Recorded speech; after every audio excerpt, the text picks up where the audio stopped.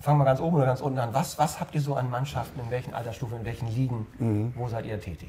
Also ähm, oben angefangen, wir sind in der dritten Liga, spielen dort auch schon seit der Gründung der dritten Liga und äh, möchten auch gerne irgendwann mal zweite Liga spielen. Mhm. Darunter die zweite Mannschaft in der Oberliga und dann geht es äh, dritte, vierte Mannschaft spielen in der Bezirksliga, die fünfte Mannschaft in der Bezirksklasse, sechste Mannschaft dann Kreisliga und die siebte Damenmannschaft spielt Kreisklasse. Mhm. Darunter haben wir natürlich in jeder Altersstufe auch äh, Mädchen im Jugendbereich A-Jugend, B-Jugend, C-Jugend, D-Jugend, E-Jugend, F-Jugend.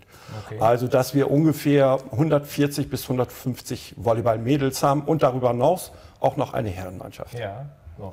Und du hast mir vorher erzählt, ihr wart schon unfassbar oft bei deutschen Meisterschaften, oder? Mit Jugendlichen qualifiziert. Wie oft insgesamt? Ja, wir haben es äh, seit 2004 tatsächlich 27 Mal geschafft, zur deutschen Meisterschaft zu kommen.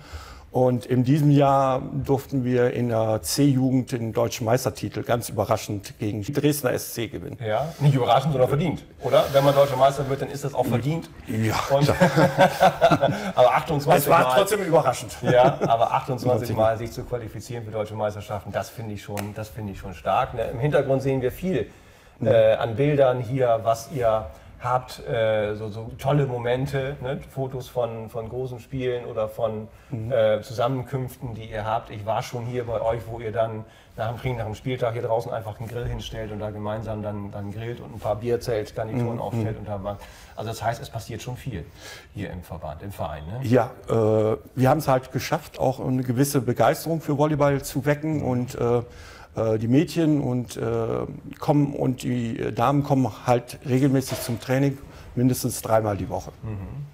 Es ist halt so, äh, dass wir durchaus starke Jahrgänge haben, wo viele Mädchen kommen und es gibt auch Jahrgänge, wo weniger Mädchen kommen.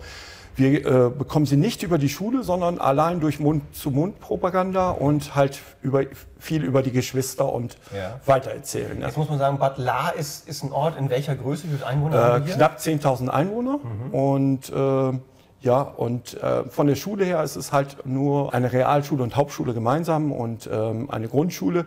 Leider keine weiterführendes Gymnasium, mhm. was ein bisschen schade ist. Mhm. Aber ist ein paar Kilometer weiter. Ja, genau, in den Nachbarorten. Dann, ja. Mhm. Okay.